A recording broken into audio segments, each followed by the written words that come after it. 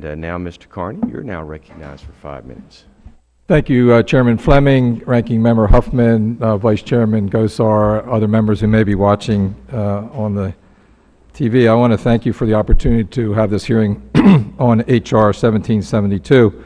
I'd also like to thank my good friend Collin O'Mara from the Wildlife Federation and Wendy Weber, Regional Director of U.S. Fish and Li- Wildlife, are going to be on the second paddle. Two weeks ago, I went fly fishing along the Brandywine River with an old friend. The Brandywine runs through northern Delaware, right through the city of Wilmington, a couple blocks from my house. I have years of memories playing along the Brandywine with my two sons, and it was along the banks of this river that the DuPont Company, world renowned DuPont Company, started uh, gunpowder mills over 200 years ago. The Brandywine River is not unlike creeks and rivers you probably find in your home states. For instance, it's not that different from the Huron River in Congresswoman Dingell's district or the Hoskins Creek in Mr. Wittman's. But there's one key difference, and that's what brings me here today. Most of the waterways in my district are located inside the Delaware River Basin.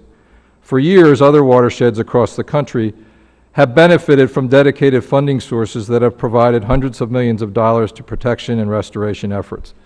The Delaware River Basin, on the other hand, one of the nation's most important watersheds, has no dedicated funding source and only receives a small fraction of nat- national conservation and restoration funding. While my state is lucky enough to serve as the basin's namesake, the Delaware River Basin stretches far beyond the boundaries of the tiny state of Delaware.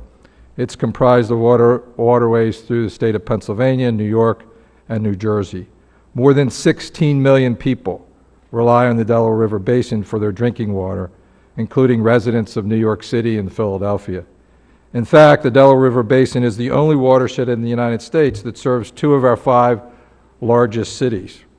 The basin contributes approximately, approximately $25 billion in annual economic activity to the region, and that doesn't count the vital recreational role of these waterways to the surrounding communities.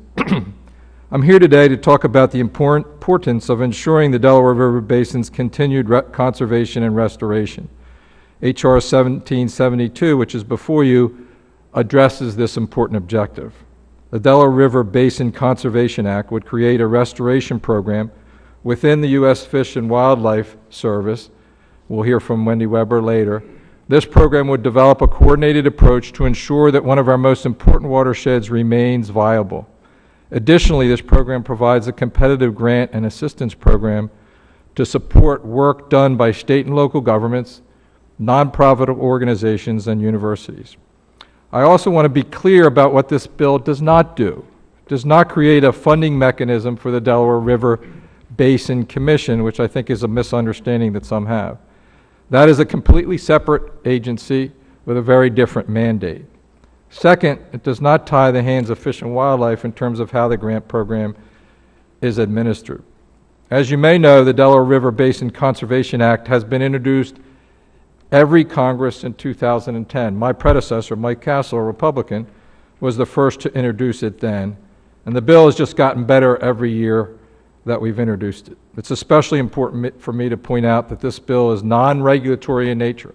I know that's something that creates some concern among a number of my colleagues, including some of the sponsors of the bill. This is a voluntary program.